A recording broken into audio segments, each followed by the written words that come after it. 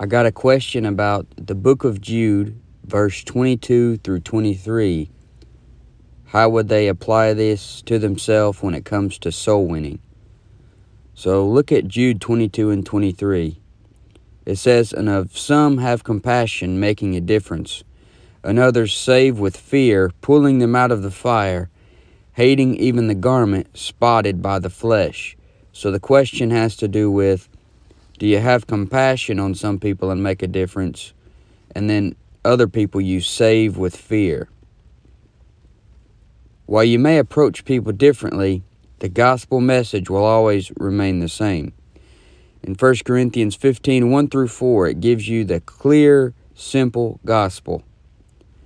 And Paul says in 1 Corinthians 15 3, For I delivered unto you first of all that which I also received how that Christ died for our sins according to the Scriptures, and that he was buried, and that he rose again the third day according to the Scriptures. We still preach that Jesus Christ died on the cross. He died by shedding his blood. He was buried and resurrected. Also, that the penalty for dying in your sins is eternal hell. And that's the message you'll give to every person. Regardless of how you approach the person, that's the message you'll give every one of them. So Jude 22 and 23 says, Of some have compassion, making a difference, and others save with fear, pulling them out of the fire, hating even the garments spotted by the flesh. Practically, you could say that some sinners respond better to a sweet warning of the same gospel message from uh, a soft spoken person than they do a hard preacher who who's considered a hellfire preacher that scares them to death. Some people respond better to different ways. Not just limit, limiting this to salvation, you could also use this for a Christian who's living in sin. If you warn them, you save them from being a bad testimony or from cutting their life short. Fear is a good thing. The fear of the Lord keeps you from doing things that can ruin your life. And some people respond better to a warning from somebody who is very soft spoken and sweet. Some people respond better to somebody like just an old school hellfire preacher or something. Some people need to be scared to death before they will make the right decision. And the reason men get overly wicked is because they don't fear God. So sometimes you really have to make them fear God. Show them what the Bible says, the consequences of their actions, the consequences of rejecting Jesus Christ. Romans 3:18 talks about men with no fear of God before their eyes. Maybe they've heard so many TV preachers and uh, money-hungry preachers that they don't even realize how fearful it is to fall into the hands of the living God because God is a consuming fire. Maybe they don't realize all these things. That's a bad condition to get into. When you think that you're so great that not even God can knock you off your throne, you're in some very rough shape. So sometimes you have to save with fear, pulling them out of the fire. Because they won't respond to being sweet and soft spoken and gentle. But on the other hand, some people do. Hebrews 11:7 says by faith Noah being warned of God of things not seen as yet moved with fear prepared an ark to the saving of his house by the which he condemned the world and became heir of the righteousness which is by faith. So you see Noah he was moved with fear. And I don't think Noah was uh, a hard person to crack. But God still used uh, fear and it caused him to prepare an ark. So there's always going to be a little bit of fear involved. I don't care who the person is. For example, most of us got saved because we feared going to hell. And there's nothing wrong with that. In Job 1 1, it says, There was a man in the land of Uz whose name was Job, and that man was perfect and upright, and one that feared God and eschewed evil. The fear of the Lord is the beginning of wisdom. By the fear of the Lord, men depart from evil. Luke 12, 5 says, But I will forewarn you whom you shall fear. Fear him which after he hath killed hath power to cast into hell. Yea, I say unto you, fear Him. You know, we're all supposed to fear God. Proverbs 16:6 By mercy and truth iniquity is purged, by the fear of the Lord men depart from evil. Fear is a good thing. You might approach people differently according to their personality, according to their age when you're witnessing to them, but the message should remain the same. Forewarn them about their sin and where it's going to take them. We know that a sinner who doesn't get saved goes to hell. I believe we tell every person that, no matter who they are. You can't say the gospel without mentioning sin. Why wouldn't you tell them that the penalty for rejecting Jesus Christ is eternal death in the lake of fire? The Bible says it, so why leave it out? I believe every person needs that warning, no matter who they are. Romans 6:23 For the wages of sin is death, but the gift of God is eternal life through Jesus Christ our Lord. And the person who sent this email asked me a lot about witnessing to the lost people at his workplace. He's a bit worried that he is seen as the cool Christian, so he is afraid of coming off worldly to people. Now, while you're giving the gospel message, which is a very negative message about their sin, and you know you're telling them that that sin's going to take them to hell, you don't have to be mean or rude or stuck up to keep from being worldly.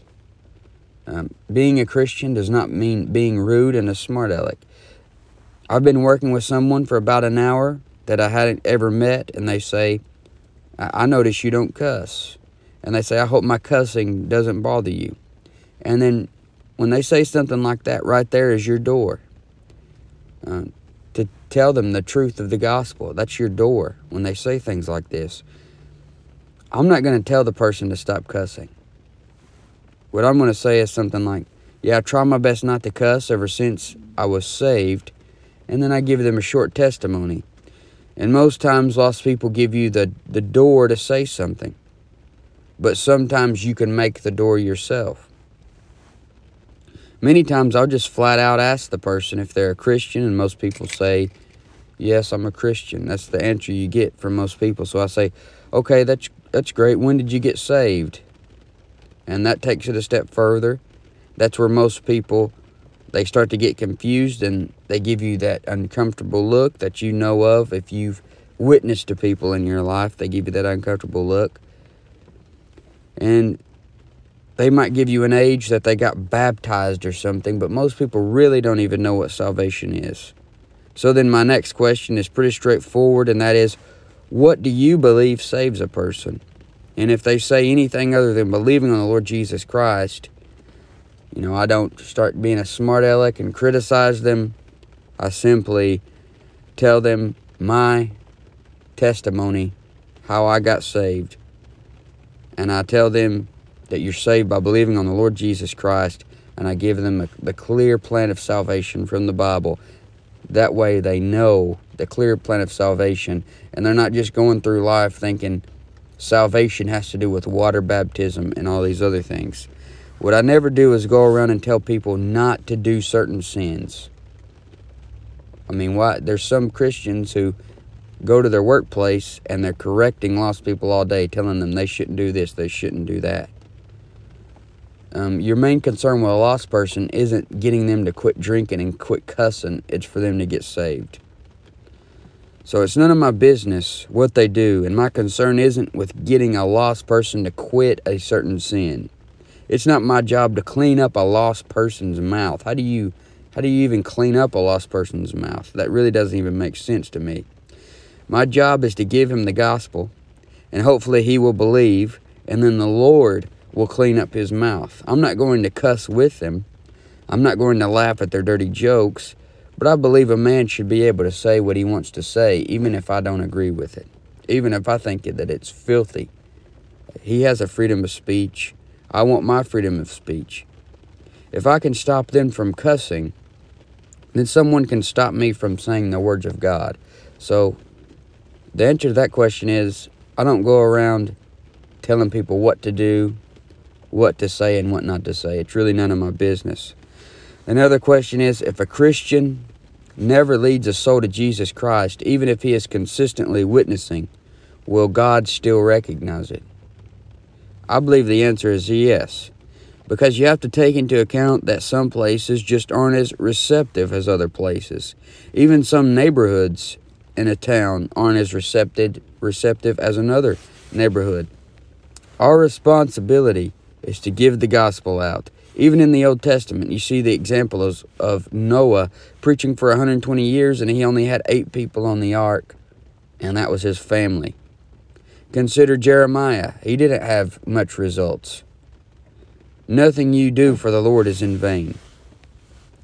In 1 Corinthians 15 58, it says, Therefore, my beloved brethren, be ye steadfast and movable, always abounding in the work of the Lord, for as much as you know that your labor is not in vain in the Lord. Anything that you're doing for the Lord from the heart, it's not in vain. Every time you are giving the gospel, you are putting the word in someone's heart so that they can believe on Jesus Christ later if they don't then. For example, my grandmother gave me the gospel. Later, I believed the gospel. I already had it in my heart. Romans 10 17 says, So then faith cometh by hearing, and hearing by the word of God. I didn't hear the gospel the night that I got saved, but I had already heard it and knew it. So even if a person doesn't get saved the moment you give them the gospel, you still put that in them to where they could believe on it later. What about people who try to argue with you while soul winning? Someone asked. Once again, our responsibility is to give the gospel. It's not to straighten everyone out. I can't straighten them out, and I'm not smart enough to straighten everybody out. Only God can do that. I can try to show them the way of God more perfectly, but to sit and argue is a waste of time, and a lot of times, lost people are smarter than you on things. And um, even though you have the truth and they have an error, sometimes they know their error, their bad stuff that they know more than you know the good stuff that you know. So unless you really know what you're talking about, I wouldn't even try to debate somebody. I would give them the gospel and just let the Lord do with it what he needs to do. I can't debate people. I'm not I'm not good at debating and arguing and winning verbal uh, fights like that or just ver- verbally I'm not good like that. So I don't even try to debate people. I give them my responsibility is to give them the truth, and then it becomes their responsibility responsibility what they do with the truth. So how can you be effective soul winning?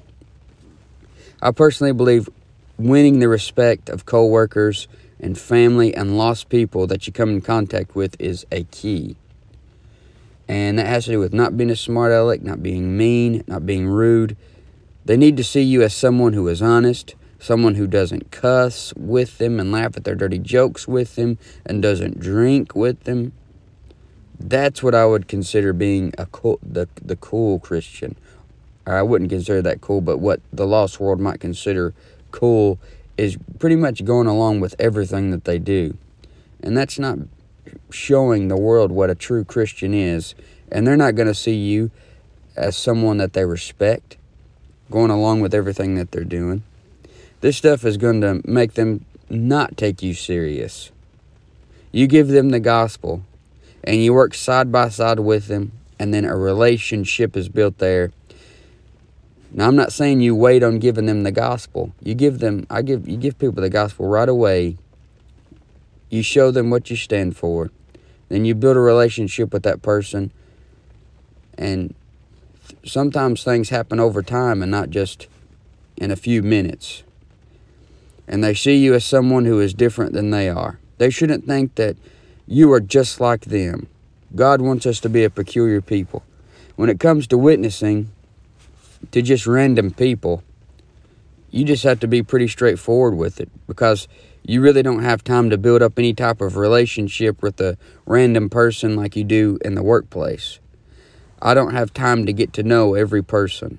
So you just flat out ask the person, Are you a Christian? If they say yes, then you take it a step further and say, That's great. How long have you been saved? If they say about five years or something like that, then I take it a step further and say, What do you believe saves a person? And you'll find that most people, like I said, don't know what being saved is, and they're just telling you that they're saved to get out of this awkward situation. Another thing you need to realize is you don't really need to do this in a crowd.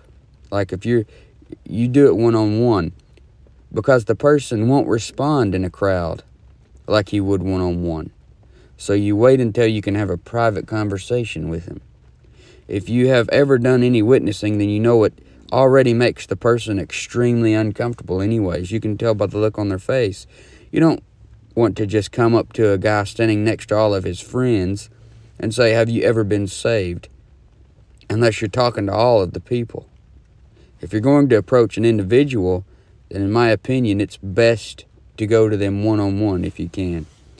And when it comes to knocking on someone's door, from my personal experience, everyone just tells you that you are that they're they'll just tell you that you, they're saved and they try to get rid of you.